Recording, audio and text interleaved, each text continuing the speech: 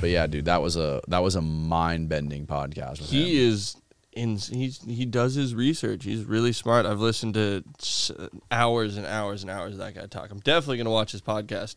That It's a good one. guys. I bet everything he says is just So we talked about takes you on a deep journey into the history of mankind. You know, like he believes that humans have existed for long, long before what the history books say. You know, Mhm. super interesting guy. We talked about Atlantis, this lost city of Mhm. Atlantis, and where he thinks it is. Yep. And he's going up there to uh, to do some filming and to go in a submarine around uh, the Azores. To try to find Atlantis. You know where the Azores, like the Nope. Azores Plateau. It's No like if, if you go up to Spain and you go directly out into the middle of the Atlantic. It's like halfway. It's like a little, almost halfway between uh, Greenland and Spain. And uh, that's where he thinks Atlantis is, and he's going to go into a submarine and explore under. That, that's where the Azores is. That's where he thinks the lost city of Atlantis was. that looks like somewhere that Atlantis would be.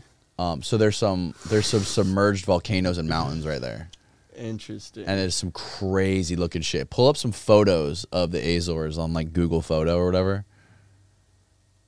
This would be an epic trip for the Joogsquad. I think to the there's surf there too. There's Is good, that there's, where they filmed the beach? there's good surf there. It does look like the beach, right? Get rid of island, maybe. Oh man. Yeah, it's just Azores. Yeah. Yeah, there's some in, insane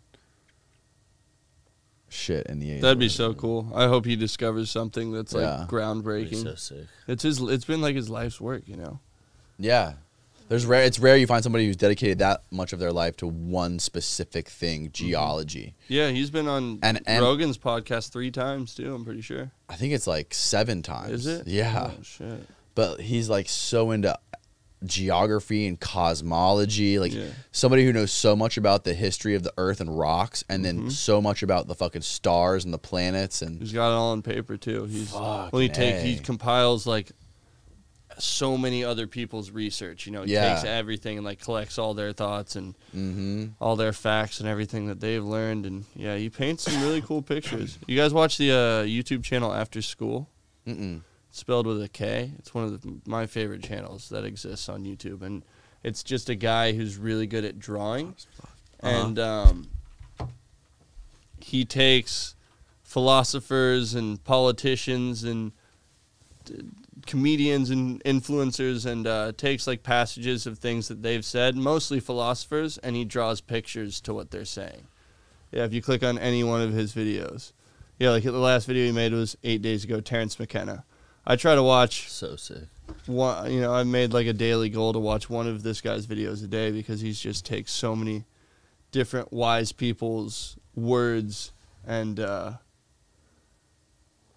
makes really cool videos. Okay, he does these super fast animated videos. yep. Yeah, he's a really awesome channel though, because I mean, I feel like everything is very like inspired, like enlightened. Yeah. the uh, Austin, can you turn the air on? calming assurance that comes. So yeah, ten out of ten recommend this channel if you haven't Terence checked it out. McKenna, Just what go a home crazy and motherfucker. check out his large library of videos and Yeah. find something you like and I think that Check at it out. You guys are familiar with like the Fibonacci sequence then, like because um, Randall Carlson is a big. I mean, he works with Graham, Graham Hancock pretty closely, and uh, Graham Hancock released the book uh, "Fingerprints of the Gods." hmm You guys looked into that stuff? Yeah, I read Fingerprints of the Gods. Yeah, yeah. Fibonacci's crazy. Just like, Explain it to people. um, it's just a series of numbers, just like one plus two is three, two plus three is five, so on and so forth. And then if you take like a one by one box and you put it next to a one by two box and you put it next to a two by three box, yeah, it creates the perfect spiral that's been seen throughout all of nature.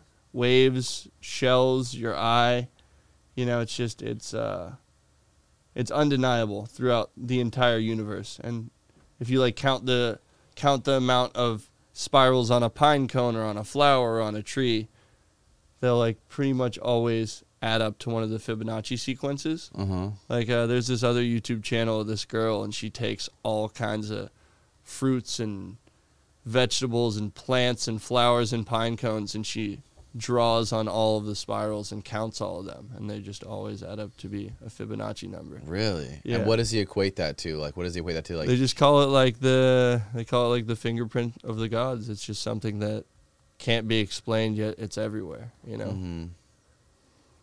Is it at all tied into the Anunnaki? I don't know what that is. Dude, Randall's a wild fucking guy. Randall is a beast. He knows some fucking like some of the shit that he told me like about the moon and like Hmm. about how the moon could possibly be hollow.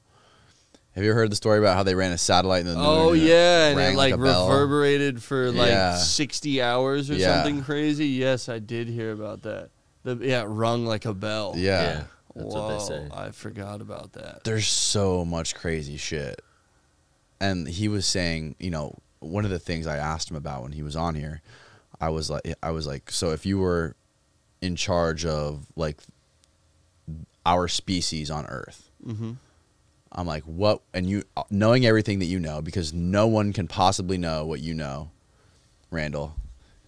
What would you do right now? Like, what what should we be doing right now? He's like, the number one priority for us right now should be to preserve our species, is to get us onto the moon, like get us living on the moon as soon as possible.